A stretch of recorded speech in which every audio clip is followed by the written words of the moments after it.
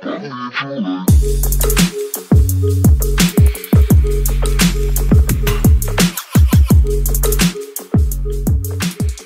up guys? I'm redoing a video that I previously did on how to get onto the Wax blockchain. If you're looking to create NFTs and you don't want to pay outrageous gas fees, the place to be is the Wax blockchain and Atomic Hub. So let me walk you through how to do that. So you're going to go to, um, you could just type in wax.io and it's going to take you to this website. Obviously, this is the worldwide asset asset exchange. You can click on create wallet. Um, because I'm logged in, I'm going to show you what it looks like. Um, this is what you're going to be greeted with. It's really, really easy. You can create an account with your Facebook account, a Google account, um, Twitter account, or your email, right? So you're going to go ahead and create the Wax Cloud wallet. That's the first thing. Now, I want to give you a disclaimer here that you need to understand. This is for this is for newbies, right? People who are new to the space. Um, with a Wax Cloud wallet, you have to understand that the wallet is a custodial wallet. That means that Wax has the private keys. If you want to own your own private keys, you will need to use a different wallet, and I can make a separate video of how to do that. Um, it's basically using another wallet called the Anchor wallet, which I can get into, but just to make it friendly for the newbies, this is sufficient. You can use this. It's pretty awesome. Um, go ahead and create your account. Another recommendation I want to give you is to enable two-factor authentication, okay? Get yourself that Google Authenticator when you can after you have the wallet and set up 2FA so that you have a it's more secure, right? If somebody gets a hold of your Wax Cloud wallet, they still need that 2FA code to be able to do anything. Okay, so once you create the account, the Wax Cloud wallet account, this is what it's going to look like. Okay, so you're going to be greeted with once you log in, your wallet address is this. That's mine. Okay, you have the dashboard. You have this is where your NFTs are, all the NFTs that you have. Um, this is where you can find all the DApps. Now, a question that I keep getting a lot of is how do I get some wax? Okay, that's a really good question. Um, and there's the little bit of friction there, right? Obviously, if you're doing this, you should already have like some crypto, like maybe a MetaMask already, a MetaMask wallet. If you don't have a MetaMask wallet, you would go to metamask.io. You're going to need a wallet, okay? A, a MetaMask wallet, which is an extension, a browser extension that goes up here on Chrome, okay? You're going to buy some crypto from like Coinbase or something like that. You're going to get some Ether. Um, that would be the easiest way to then get Wax. Okay. So back to this. Um, the way you could get some Wax, depending on where you live, right? You click here, it says buy Wax.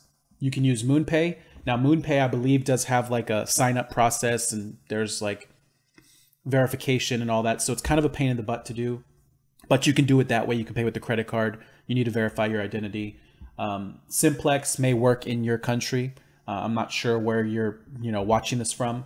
The easiest way to do it is change now, which is crypto to crypto. So that means you're going to buy wax with like Bitcoin or Ethereum. Okay. And now sometimes this doesn't work because the trading pair is inactive. So let's just check that out now. Okay. Yeah. So obviously the pair is not working. So you can't do it. You can check back later. Um, what I believe this is, is there's not enough liquidity right there at Change Now to swap out some ether for wax. But essentially, you would put in however much you know ether you wanted here, and then it would tell you how much you're going to get in WaxP. And then you click exchange. You put in your your address where you want the WaxP sent to, and then you're going to transfer some ether, Ethereum, to the address that they give you. Okay, and it's all done automatically after that. It's pretty easy, pretty straightforward. I'll try to make a separate video of doing this live when it's actually working. Um, the other option would be to go somewhere like Bittrex, um, which is an exchange. Um, that to do that is kind of outside of the scope of this video. I don't want to discourage newbies from from getting into this. So if you need to do that, um, you can join. Actually, join our group. Um, I have a group here um, called "Teach Me How to NFT." Leave page. Sorry about that. If I can get to it. Okay, so it's a new group. It's only got 21 members right now. I'm doing some NFT giveaways. I'm doing some people who are the first to come into this group. And actually engage with the group. I'm, I'm giving giving out some NFTs for free that will hold rewards. So you're going to be entitled to like NFT drops in the future. We're going to be doing all kinds of fun stuff in this group. So if you have any questions, you can go into this group and ask the group. Um, but back to the Wax Cloud wallet. Okay. So yeah, that's how you would buy Wax. Okay. So now you have your cloud wallet. Okay. The dApps is like the decentralized apps and the marketplace that is freaking awesome and where you can mint your NFTs for super cheap, like basically no fees what it costs is resources. Okay, and because you have a Wax Cloud wallet, like your resources are basically covered. Um, so here, you'd click on Atomic Wallet or on Atomic Hub, sorry. And I'm already logged in with another account. Um, now, the this is going to be for a separate video. If you want to get a cool username, I can show you how to do that. Um, let me actually go back and show you where that is. Um, you would go to down here, the cog, and click create account. Now you would need to create a new public key pair, which that would be a separate video if you're interested, but I just want to show you where it is, right? You can create the username up to 12 characters, but remember, you can't do this without a, a secondary public key pair, which I can show you, like I said, in another video, but I'm not going to go into that now. Let's go back to Atomic Hub. Here we are at Atomic Hub. To create a NFT, right, you would click on Creator, the first thing you're going to do is you're going to create a collection. Okay, so you click on create collection. You're going to create a collection name. Okay, now this name has to be 12 characters. It can't be less, it can't be more. Um, you can only use the numbers one through five and lowercase letters. Okay, um, you can click the display name, uh, website URL that you want to link the collection to, describe the collection here, and then this part is really important. Okay, you're going to set the market fee, which is the basically the royalties that secondary sales will pay to you. So you can set it at 5%, 10%, 15%, whatever you like. Um, what I see a lot of is 10%. That's what we normally set our, our fee at so that if somebody buys one of our NFTs and then they resell it, we get 10% of that sale forever, basically. Okay, the other part is you can add a, add a photo here. You can add a JPEG or you can add a GIF if you like. Um, we have a GIF on ours, a um, little bit of animation there. But essentially, that's how you would create a collection, okay? Because I already have collections, I'm not gonna keep creating new ones. So you can see the collection that we already have. It's a project that we have that we're launching. It's called Crypto Zootopia, looking for artists and other collaborators to work with us. Um, it's a gamified, fun um, collection. Anyway, that's not what this video is about. I'm gonna show you how to actually create your first NFT. So here in this, um, here's where my collection's set up, okay? you have what's called schemas, which is like groupings within your collection. And then you have within the schema, let me show you that. You can do, again, create the name. This can be less than 12 characters now. Um, can't be more, but you can create a schema with less than 12 characters. And you're going to add the attributes that you want. So the name of the thing is a text attribute. Image is going to be obviously an image. Um, and you can continuously add different attributes. You can have numbers, a floating point number, um, text, image, IPFS hash is how you would add a video, which that is going to go more in depth. I'm going to make a second video about how to do that, how to add a video to your NFT on the Wax blockchain. You basically need to upload to the IPFS, which stands for Interplanetary File System. Um, you would need to upload the video there and then get the hash um, code and put that in here, right? So you would also, another big tip is to make sure that you use lowercase letters here because if you use like a, some of this stuff is already built in, like video is already a built-in functionality. And if you put capital V instead of a lowercase v, it won't work and it won't show up. And then you can't erase that NFT um, afterwards. You can burn it, but it kind of it kind of causes an issue. So just make sure you lose, use lowercase on this site as of right now. They might fix that in the future. But anyway, you'd add all the attributes here. I'm not going to create a new schema because I already have plenty. Um, so our our NFT series is like a gamified series where artists and collectors participate and stuff. And so we have a schema already. Let me show you um, the scientific name for animal, okay? Because it's all about funny animals. And these are the attributes that I have. Name, image, the species, normie name, um, natural habitat, rarity, I give them a special power. Back image allows you to add a second image, which I'm going to show you what that looks like on an NFT. Um, video, you see I messed up and I put capital V, it didn't work. So lowercase v does work. Um, and then NFT rewards is something that I'm using because I want to let people know that some of these NFTs come with special rewards like airdropped NFTs um, in the future, um, other perks and stuff like that. So there's there's just so many things you can do with this. Um, so within the schema, okay, you have one more thing called this is where you mint the assets. Okay, you can mint a new asset within the schema, which you're going to add the image of whatever that NFT is going to be. You're going to add the account owner, which is your, it's going to be your wallet address. I have a username here because I already did that, but yours would be, you know, j something dot wam. Okay. And you put that address there. You're to, you can do 10 at a time right here. Okay. You can do 10, you can mint 10 at a time and you click, you know, one or let's say 10. And then you'd fill out all these attributes that you already you know set. If you when you pick the picture here it's going to automatically populate the the hash here okay? So you don't have to like do that twice. Um, but you basically fill all your attributes out um, and then click create asset and it would create your asset. Now i'm showing you that way but that's not really the best way to do it um, if you want to save on resources. And again this is super super cheap but the best way to do it is to scroll down here where it says templates, okay? And you're gonna create a new template. That means that you have, let's say you, you can set the max supply of that NFT, and then also you don't have to re-enter the information over and over again um, when you're minting more of that asset. So let's say you want to release a, you know, a specific type of NFT and you only want there to be 100. So you'd add the image here, you'd set the supply to let's say 100. The You'd fill these out just as you would when you're going to mint the asset. But the cool thing is once you fill this out and then you create the template, okay, um, you're gonna you're gonna authorize that with the Wax Cloud wallet. You're gonna get these templates, right? So whenever I have, let's say I have, um, so we just released this uh, Trash Panda, okay?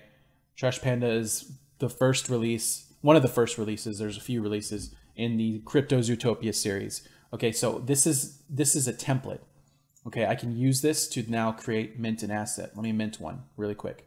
So I don't have to fill out anything. I can just pick the asset, the, the template that I want, and it's gonna automatically populate everything, everything that needs to be there. Okay. Now there's no video set here because I didn't add a video to that one and there's no NFT. I added these um, after the fact. Okay, um, I'm going to keep that one this way, but we will add more rewards to that in the future. So then I click create asset. It's using the template. I click confirm. Now I'm using the Anchor wallet for this account, so I have to log in um, and approve it on my Anchor wallet. On the Waxcloud wallet, you would just be able to approve it here within here. Okay. Um, and now that asset is created. So what I can do to see it is click on inventory. And you have to unclick only whitelisted NFTs. There's a, there's a whitelisting process. So now you can see that it's there. Okay, you can click on it. You can see who the owner is, all the, you know, the collection, the schema, the template ID.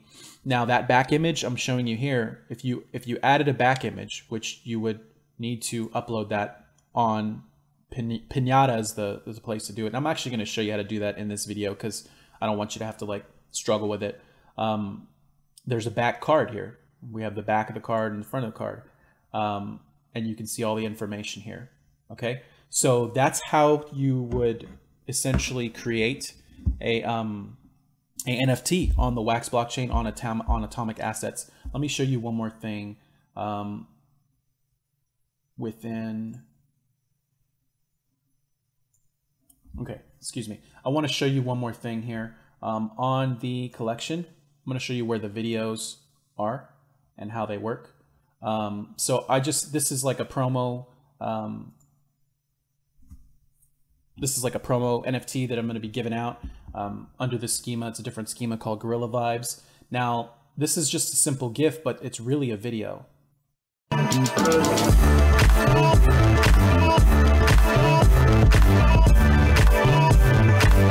Okay, so you can see that's how you put the video there, but the way that I did that was the video gave me a hash, right, on Pinata. And I'm gonna actually go to that right now just so you could see how to do that. It's pin pinata.cloud, okay? And since I'm already logged in, you need to create an account there. But basically, once you have an account there, you can click on upload, click on file. Let's choose a file. Let me just show you how this works. I'm gonna pick something here. Um, here's a funny thing I did, uh, asking for a baskin, right? So I'm gonna click upload. This is uploading it to the interplanetary file system. Okay, so now I have my, my hash here. And so if you did a video, you see the video for that NFT is right there. I would just click that hash. And so you would need to click that hash, go back to Atomic Hub, right? And let's go back to the creator, view collection, and let's say uh, Gorilla Vibes. Okay, so if I wanted to mint a new asset, you would put the video, that, that hash here, copy paste it here. Okay, when you copy paste that here, when you create the asset, the video will show up as I just showed you. So that's how you would add a video. I just wanted to, that's how you'd add a video and that's also how you could add a second image, a back image, right? So you would just go, because I had an image here, click on it, copy it, Okay, and so for back image, there's no back image on this on this collection. Um, not in Gorilla Vibe, Gorilla Vibes, but in the animal one here. Okay, so when I mint an asset for back image, here it is, lowercase letters, you'd paste that here. So just make sure you paste the right thing in the right place. For an image, for the back image that you want it to show up as a secondary image like I showed earlier, you put it here. For video, make sure you have the video hash, you put it here. It's the same kind of thing. That's how you would do that. Um, if you guys have any questions, we do have a Telegram group.